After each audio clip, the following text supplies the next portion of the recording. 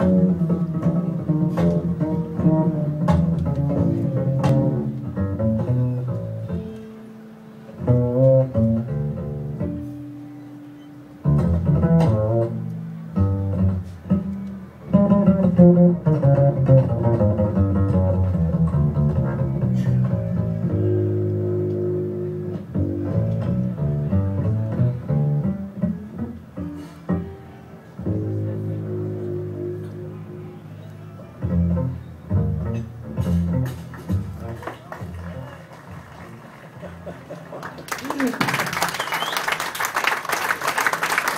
just kept playing and playing and playing.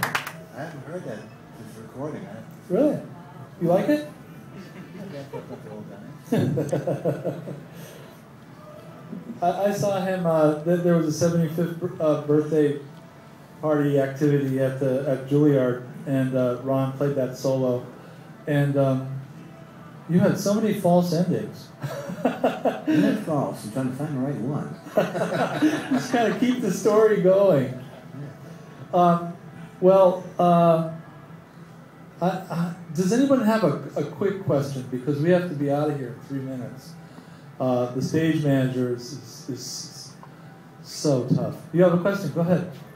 Um, right, thank you. Uh, if there was one bass player uh, who you could say influenced you beyond other bass players, uh, do you have one? Do you have do you have like a No. favorite? No. Uh, you know, when I was coming along, bass players were not my focus of interest.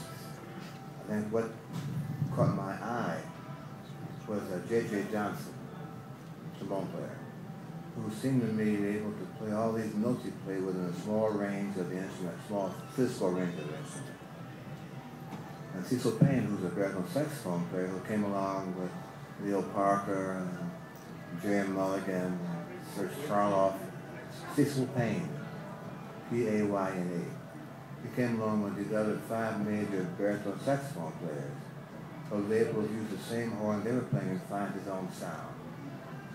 So we have a good example of these musicians, one who plays a, a very common horn, baritone saxophone, who's found his own sound, using the same sound horns they play, and J.J. Johnson has such a command of the instrument, it allows him to play trombone using this physical range.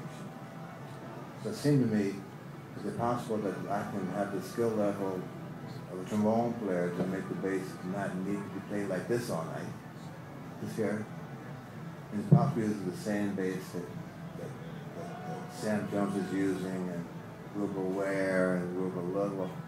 Is it possible to get my own sound out of the same physical process as Cecil Payne? So those are my primary influences about trying to play this instrument. Is that why maybe you don't use the upper ranges? I can hear you. Is that why maybe you don't go into the upper ranges? As much as other bass players might do. They're hearing that. I'm sorry. They're hearing that. I might say to them, how come you don't play on a low A string more often? I, I don't get to that kind of mindset. That's what they do. I think the question is, is the statement was, is that why I don't play up high all night? Basically. Or uh, uh, is that kind of too short a statement? Because it's interesting to hear this, my answer. But I was saying to him that my influences were people who were not bass players. And what interested me was J.J. Johnson's skill level and Cecil Payne's personal sound. Okay. So his comment was, so is that why I don't play a pound of bass all night, basically? No, sorry, I, I thought you meant the. Uh, th- you were talking about the range. I misinterpreted it. Yeah, I'm talking about the range. I'm talking about not just range, not only the range, but where the notes are located. I'd much rather spend my night doing this and doing this that other guys do, and that's what they do. And this is not a, a comment, a majority statement, any of those players who like that style. That's not my sound of the instrument. I like being able to play a low note and have it last for this long. Yeah? That interests me.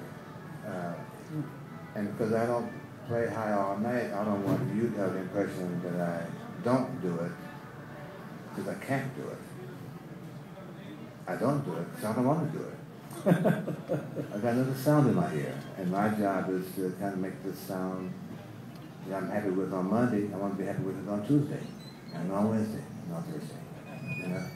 And I hope that me sending you out for this response doesn't make you feel embarrassed and you won't see me outside and try to get me in here with an ice cream cone or something like that, because I'm, I'm too old for that kind of stuff. Any other questions?